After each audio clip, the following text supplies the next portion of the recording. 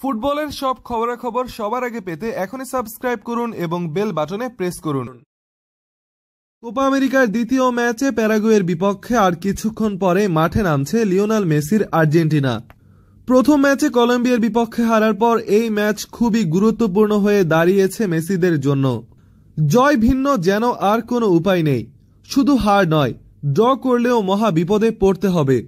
বিখ্যাত পত্রিকা দি মার্কার মতে, এটি আর্জেন্টিনার জন্য এবারের কোপা আমেরিকার প্রথম ফাইনাল। তাদের মতে, এই ম্যাচ স্কালনির শিষ্যদের জন্য ফাইনালের মতোই কঠিন হবে।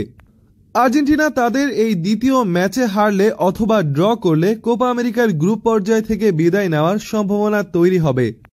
সম্ভাবনা তৈরি হবে ঠিক, তবে এই ম্যাচ হারলে আর্জেন্টিনা বিদায় নিবে ব্যাপারটা এমন নয়।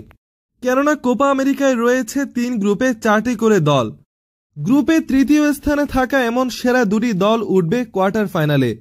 অর্থাৎ আর্জেন্টিনা যদি আজকের ম্যাচে হারেও, তারপরও সম্ভাবনা থাকবে তৃতীয় হয়ে কোয়ার্টার ফাইনালে ওঠার। তবে এমন কোনো কঠিন সমীকরণে পড়তে চায় না লিওনাল মেসির দল। তাই বিশাল ব্যবধানে এই ম্যাচ জিতে নিতে চায় তারা। এই লক্ষ্যে দলে পরিবর্তনও আনছেন স্কালোনি।